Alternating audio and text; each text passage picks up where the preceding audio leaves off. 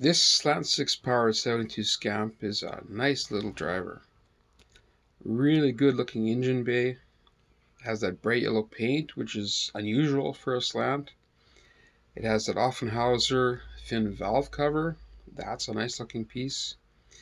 It also has the exhaust header. Those are all the things that make it look good.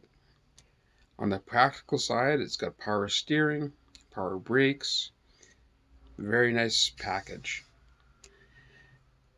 and all of it is topped off with FC7 In-Violet paint.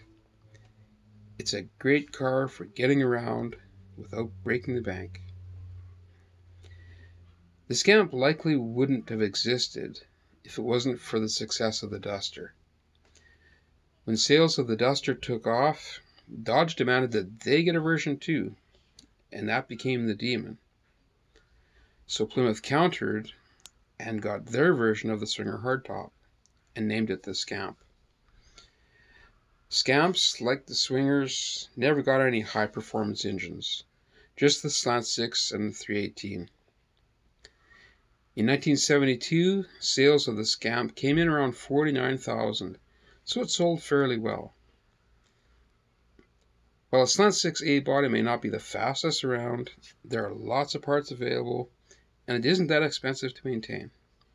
It's a good way to be in the hobby. Hope you enjoyed looking over this scamp. Please come back for more great Mopar features.